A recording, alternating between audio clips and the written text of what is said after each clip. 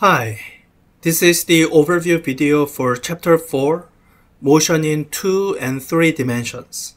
This is the second chapter in kinematics. In chapter 3, we covered kinematics formulas in 1D, and in this chapter, we bring in additional dimensions. And uh, in the context of this class, most of the problems we work with will be in two dimensions. Um, later on, when we do rigid body rotation, especially with angular momentum, we'll have to bring in third dimension. But most of the times, even when the motion is actually three dimensional, you can usually pick a plane where all the interesting things happen and describe it adequately two dimensionally. Um, uh, so as long as we can do that, we'll do that. So even though the chapter says motion in two and three dimensions, will mostly concern ourselves with the motion in two dimensions. So as usual, I'll uh, go over the sections and describe uh, what's covered in lectures, what the um, lecture doesn't cover, and uh, what I sometimes do differently uh, from the textbook. I think when in kinematics there isn't much that I do differently. So, um, so first the section 4.1 displacement and velocity vectors. These should sound familiar. This is basically displacement and velocity we covered in chapter 3. Uh, what's new here is that we are bringing in these additional dimensions for y and z. And uh, using vector notation, you can um, uh, express it as r, position r vector, which has components x, y, and z. Uh, one thing that I do do differently from textbook is textbook uses these unit vector notations, i hat, j hat, k hat. I prefer x hat, y hat, z hat. They, they are the same. It's just, uh, uh, I think it is i, j, k is an older notation and I guess x hat, y hat, z hat can be confusing with, you know, is it x the position or x hat the unit vector? And look for the hat. Hat is the thing that indicates whether something's a unit vector or not.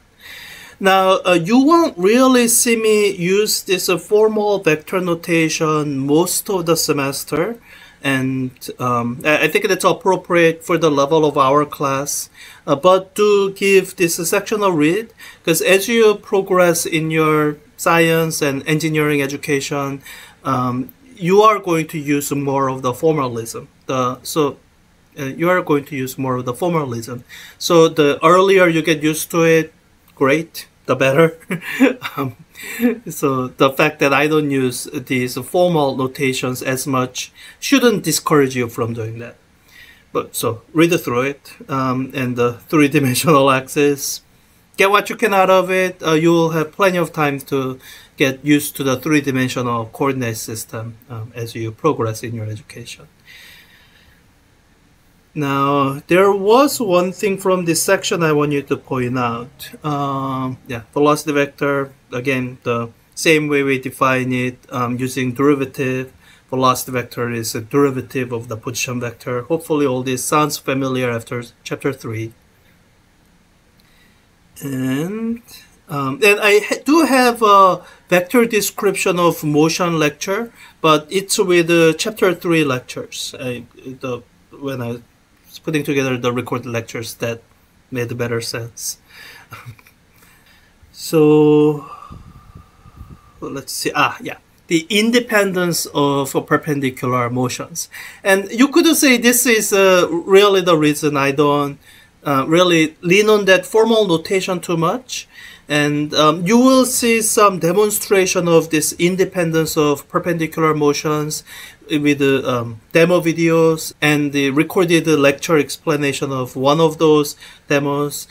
Um, so what this uh, tells you is that when you are writing down kinematics equations, you can write it down for x-axis, write it down for y-axis, and just to work them out separately, kind of ignoring the other perpendicular directions.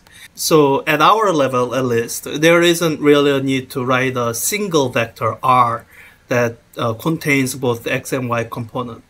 You can just uh, separate out the description of the vertical component of motion description of the horizontal component of the motion and just uh, write them out as a number of equations. And in one of the later sections, there will be some description of the problem solving strategy that you would use utilizing that fact.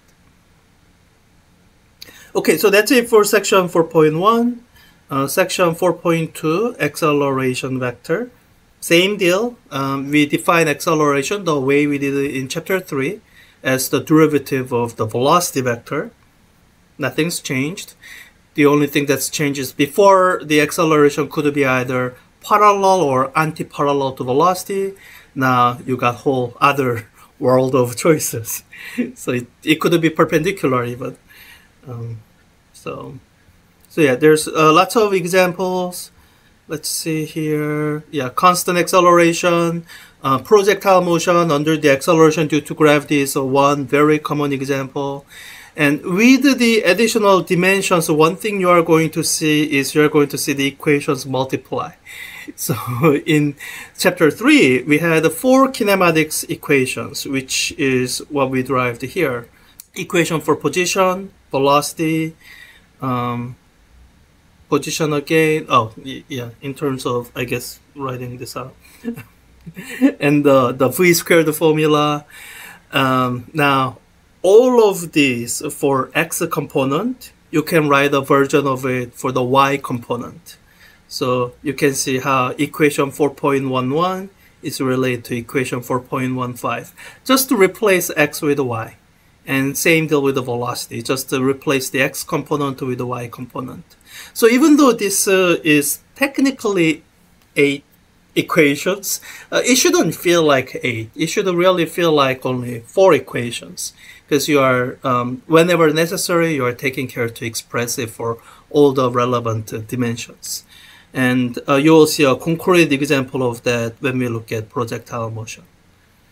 Uh, let's see what else is here.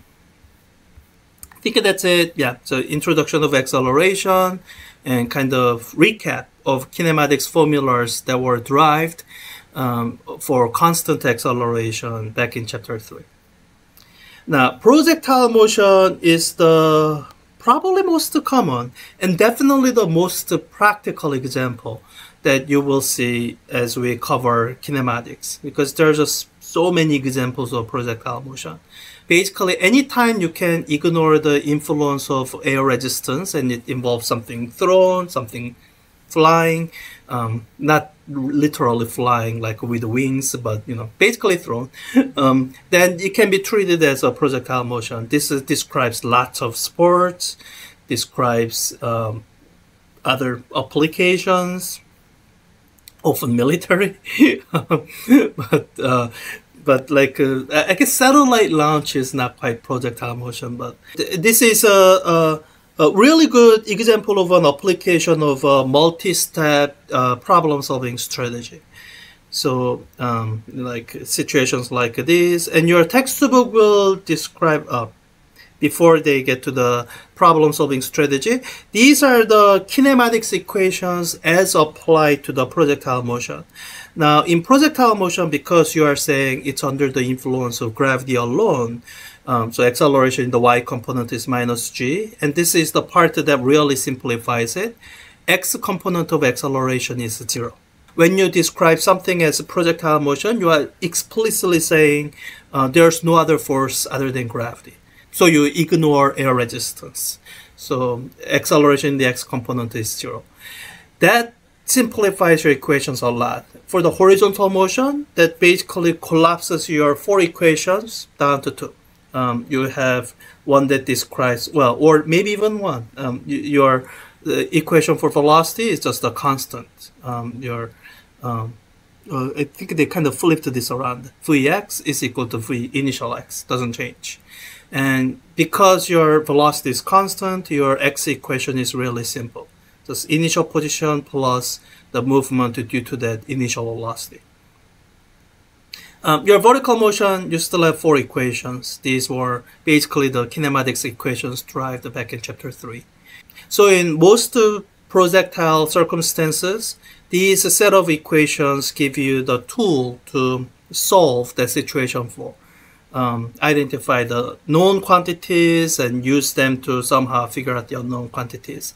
Now, as you are doing that, I mentioned this in one of the earlier lecture videos about physics problem solving, how it's like a lot of word problems in your math classes. And um, I'm told that a lot of students struggle with them. And um, eh, so it's worth practicing. And I think some guidance in your practice is useful. Um, as far as the lecture goes, I do have a lot of examples of me solving projectile motion and I do explain my steps step by step. And I hope they are useful.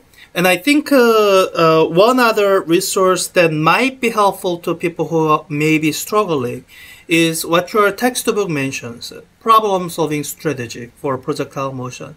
You will see boxes like this throughout the textbook. And in fact, when we go into forces in the next week, uh, we introduce a set of problem solving strategy that we call standard strategy. Uh, we don't have anything quite as formalized when it comes to projectile motion other than to rely on two things independence of the, the perpendicular directions of motion and um, to the fact that time is the common variable that connects the two independent directions of motion. Um, and I think that gets you a lot. Uh, all, the rest is kind of practice. And especially as you're getting started, if you feel you are stuck, then these are the steps that I would uh, recommend that you try following. Uh, when you are first uh, faced with a situation, First, resolve the motion into the horizontal and vertical components um, along the x and y axis, and usually x would be horizontal while be vertical. And the main reason for that is uh, that independence of uh, the two perpendicular directions of motion. And two, the fact that for projectile motion, you know the accelerations along those two axes already. So breaking up the motion into those components should uh, um, start to give you some idea on how to solve the rest of the way.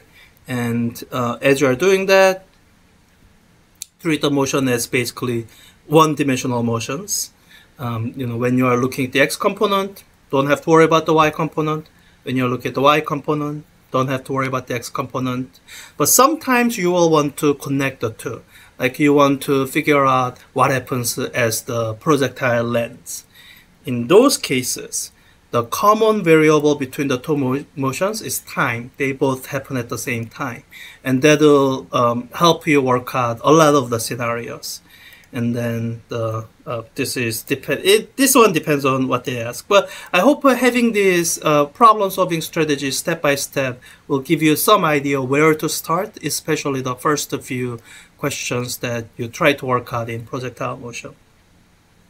And this is a really long section, and I think the rest are basically examples. And I encourage you to read through the examples. Uh, with problem solving like this, really not, nothing beats practice. And by practice, I mean, you know, look at the example, look at the question statement, try to work it out on your own, and uh, maybe read the strategy. And then I would recommend trying it on your own for a while, like five minutes before you read through the solution. And if you worked it out, great. In, as you're reading through the solution, you can kind of double check. Uh, if you got stuck, then you know that is what the solution is for. I hope uh, as you do that, it kind of um, as you do that, it teaches you what you are missing when you are trying it on your own. So uh, this section has uh, lots of examples. Look at that. I also have a lot of recorded um, examples worked out. Look at that either uh, on the lecture page or as part of a homework help.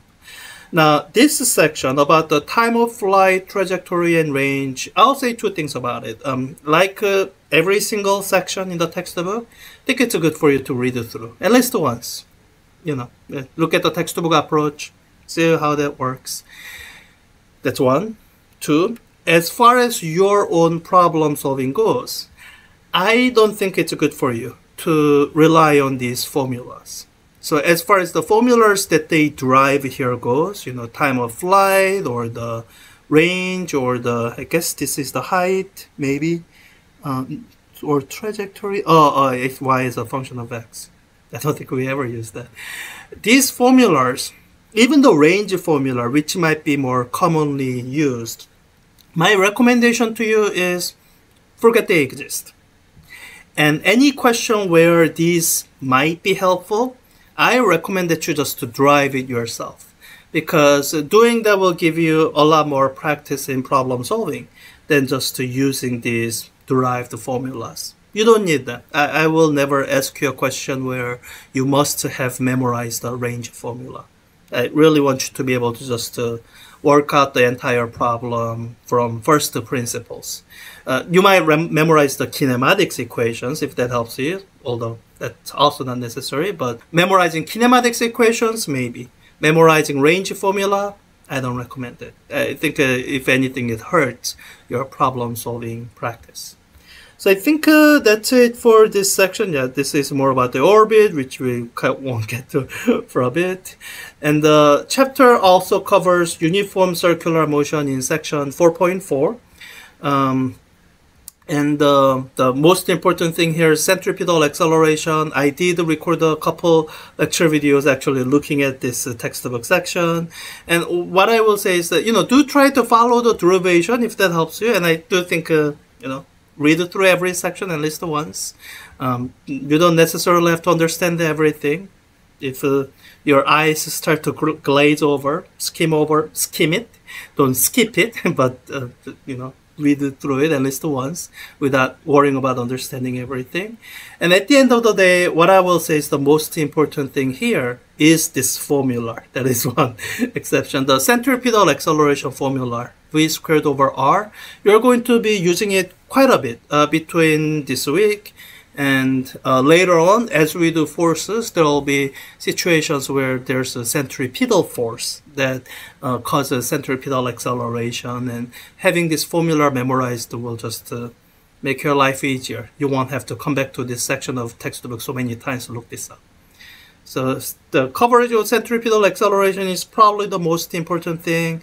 I have other lecture videos to kind of illustrate this with the um, simulation and um, I think once we get to forces, it'll be more natural. And equations of motion, we don't deal with this at all. Um, uh, because uh, we are going to be covering something very similar when we get to oscillations. So I, I, don't think we need to worry about this now. So you might see a homework question or two other than that, um, I, I don't waste a, a lot of time.